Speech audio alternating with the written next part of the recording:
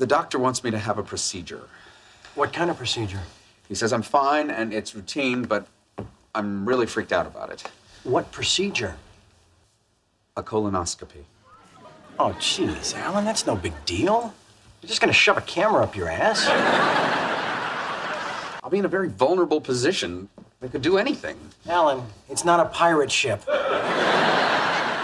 just relax. It'll be over before you know it. Yeah.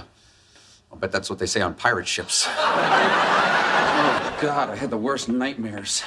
Pirate ships? Full service gas stations. I failed to see the connection.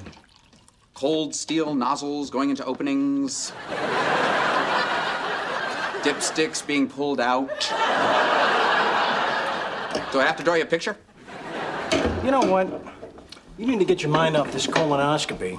Come on, get in there, you sucker! Judith, Alan got some bad news from the doctor yesterday. Oh my God, Alan, what is it?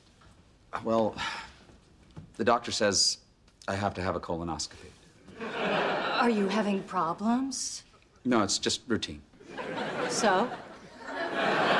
So I'm, I'm really nervous about it. That's it? Well, it's a long, snaky thing with a camera. In a few seconds, you're going to feel a little drowsy. No, no drowsy. I want to be out, completely out. Don't worry, you will be. Right, Doctor? Aye. You won't be remembering anything, me Paco.